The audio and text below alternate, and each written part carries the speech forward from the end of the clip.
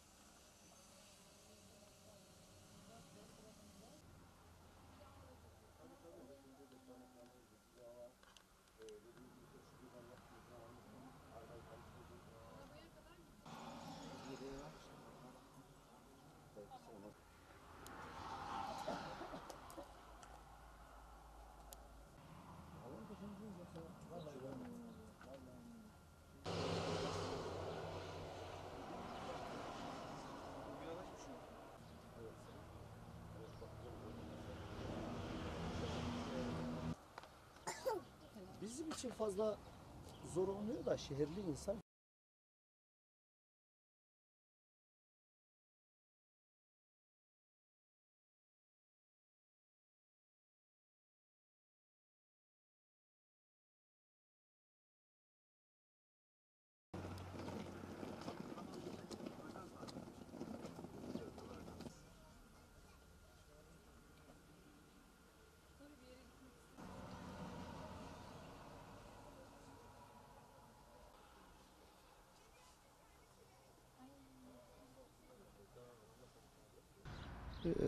kıyamet gibiydi. Çocukların peşine koşuyordum. Bir odadan bir odaya, o çocuğa, o çocuğa. Ee, hangi birine koşacağımı şaşırdım. Sonra bir buçuk iki dakika sonra deprem bittikten sonra panik halinde aşağı koşmaya başladık. Tabii duvarlar yıkılmıştı, her taraf kar fayanstı. Biz nereye bastığımızı dahi bilemiyorduk.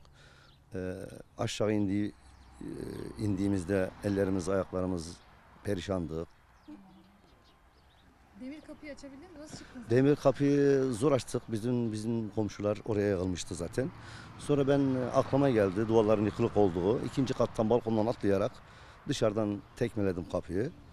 Ee, sağ salim çok şükür komşuları da çocuklarımı da ailemi de çıkardım. Arabaya gittik.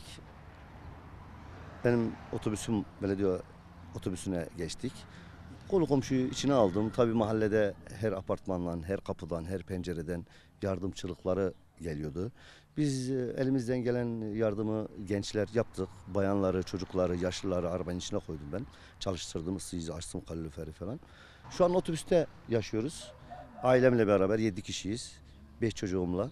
Önceleri yapamıyorduk elektrik olmadığı için. Şu an elektrik geldikten sonra seyyarlarla, tesisatlarla e, otobüsün içine, içine elektrik çektik. Çocuklarım televizyon seyrediyorlar. Televizyonum da var, ısıtıcımız da var. Çok şükür e, sığındık. E, fazla olan birkaç koltuğu söktüm ben imkanlarımla. E, yolumuzu açtık. E, çok şükür e, rahat edebilecek şekilde şu an idare ediyor. Evden e, kendi malımızı çalar gibi e, 3-5 dakikada geçtik. Bir battaniye aldık, bir yorgan aldık, yastık aldık. Zorunlu e, olan, zorlu ihtiyaç olan eşyalarımızı aldık çıktık. Ya çok zor. Yani hani kimse böyle bir şey yaşamasını istemem. Çok zor bir şey. Yemek yapmak zorundasın çocuklarına. Koyup kaldırmak. Bulaşıklar, çamaşır. Çok zor bir şey. İstemezdim böyle bir şey olsun. Nerede yapıyorsunuz yemeği? Ocakta. Dışarıda mı? Evet. Dışarıda yemek yapıyoruz. Çayı tüpte yapıyoruz. Çocukları doyurabilmek için. Banyo tuvalet ihtiyacı nasıl görüyorsunuz? Ya zor da olsa eve geçmek zorundayız. Başka çaremiz yok. Yok televizyona koyduk işte televizyon izliyorlar. Televizyon olduğu için sıkıntı etmiyoruz. Dışarıda biraz oynuyorlar. Televizyon seyrediyorlar. Sizin var mı bir isteğiniz?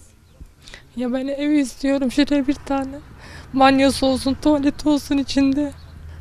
Yani iyi kötü en azından ihtiyaçlarımızı giderebilelim. Ben bunu çok istiyorum. Çok kötü bir etki. Çok kötü hani ben onu yaşamadım. Yaşamak da istemem bir daha. Ben o anda çocuklarıma bir şey olacak diye çok korktum. Kendim canını vazgeçtim çocuklarım önce dedim. Ellerimiz kanlar içinde, ayaklarımız kanlar içinde koştuk sokağa. Ne yapacağımızı bilmedik. Üşüyoruz, titriyoruz. O anda hiçbir şey üstüne almamışsın. Patanyasız, ceketiz çıktın. Ben bu çocuğu küçücük bir patanyaya sardım çıktım. Koştum dışarıya. Ne yapacağımı bilmiyorsun ki o anda. Çok iyi bir gelecek isterim. Okullarından oldular. Her şeyden oldular bakın. Eşim de burayı bırakmak gitmek istemiyor hiçbir yere. Bütün kayınlarım gitti buradan. Herkes ailesini aldı gitti. Sadece ben kaldım burada. Ben burayı istemiyordum. Ama mecburen kalmak zorundayız. Burası kayınbabamın yadigar burası. Mecburen kalmak zorundayız burada. Olmayıp öyle. Olsun istemezdim. Ne güzel bir düzenim vardı benim. Nasıldı önceki hayatınız? Ya eşim işe gidiyordu, çocuklarım işe gidiyordu. O çocuklarımın okulu devam ediyordu. Yani o an ne yapacağını şaşırıyor insan. Nasıl bir şey bekliyor bizi daha bilmiyoruz. Gelmezdi. Bir gün Aslında halk otobüsünde yaşayacağınızı düşünür müydünüz hiç? ben zaten hep eşime söylüyorum.